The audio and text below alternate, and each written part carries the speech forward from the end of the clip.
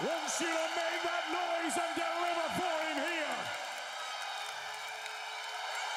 Come on! To hit the press!